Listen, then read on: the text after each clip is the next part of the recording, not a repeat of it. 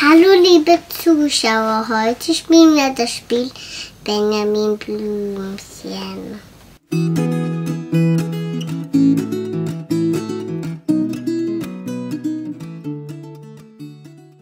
Benjamin Blümchen ist ein Kinderspiel ab drei Jahre, ist für zwei bis vier Kinder, geht 15 Minuten und erklärt sich quasi von alleine, weil der Benjamin spricht nachher zu den Kindern, weil die Tiere sind entflohen und die verstecken sich im Busch. Also verschiedene hier. Gibt es hier Sträucher. Und die Kinder müssen die einzelnen Tiere finden. Die sammeln sie dann vor sich. Das heißt, wer die meisten Plättchen gesammelt hat, der gewinnt. Ansonsten werden am Schluss die Tiere hier rein platziert. Manche sind im Wasser und manche sind auf der Seite. Und ich denke, stecken hier. genau, ich denke, wir schauen uns das einfach mal an.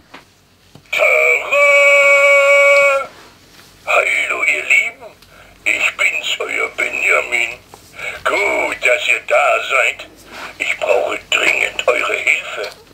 Ein paar Zootiere sind verschwunden. Oh oh. Herr Tierlieb hatte mich gebeten, auf sie aufzupassen.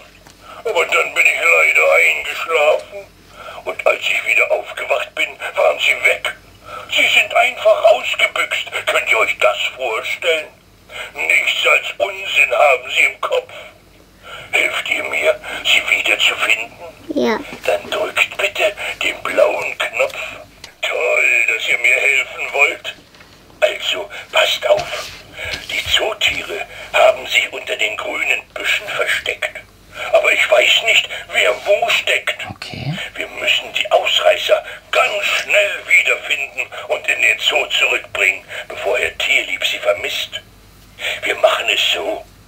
Ich sage euch, welches Tier wir suchen. Ihr schaut unter den Büschen nach und versucht es zu finden. Seid ihr bereit? Ja. Dann drückt nochmal den blauen Knopf. Panda Baby, wo bist du? Wer fängt an? Ich?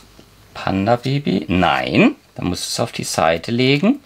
Nein, so. Ja. Alina, wo könnte das Panda Baby sein? Nein, auf die Seite legen. Ah, jetzt.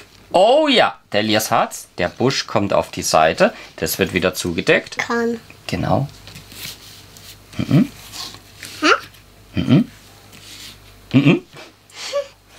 Mhm. Mhm. Mhm. Ja, jetzt haben wir's. Jetzt habt ihr aber alle, jetzt habt ihr alle aufgeweckt fast. Nein, Die verstecken nicht sich gleich alle. wieder. Die verstecken sich gleich wieder. Alina, drück mal den roten Knopf. Wo steckt gerade Giraffe? Jetzt hast du den roten Knopf gedrückt. Das haben wir jetzt mal gesehen. Das wiederholt sich. Du musst den blauen drücken. Da geht's weiter. Die Pinguin muss hier ist dran. Aber wo? Oh, super. Jawohl. Und jetzt? Super. Jetzt, so, und jetzt? Tara! Wir haben es geschafft. Wir haben alle Tiere wiedergefunden.